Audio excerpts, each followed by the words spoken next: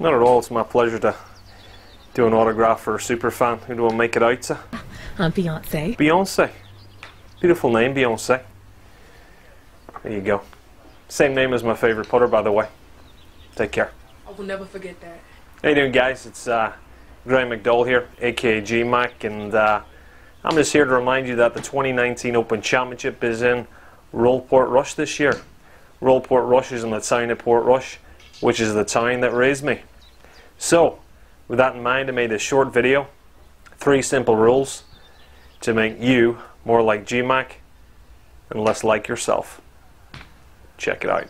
Rule number one never, under any circumstances, refer to yourself in the first person.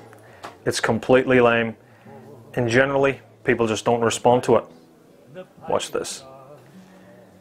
Bartender, uh, I'd like an ice cold beer if I may. We don't sell any beer here, mate. See what I mean? Check this out.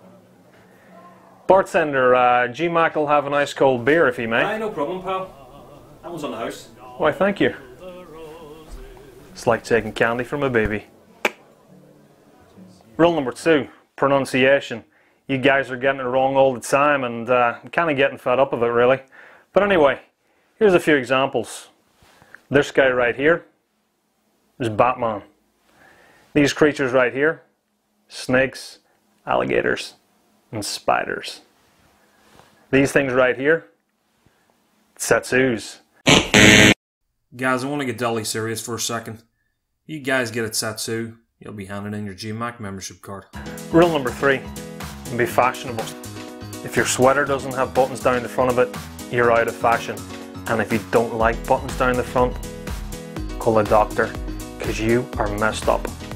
And also, the GMAC G-string is selling really well in all major golf stores and it's now only $59.99. Get it while it's hot. That's it guys, three rules to be more like G-Mac and less like yourself. I gotta go now grab my bats and beat a couple of these guys in the game of golf. Stay tuned. Bye.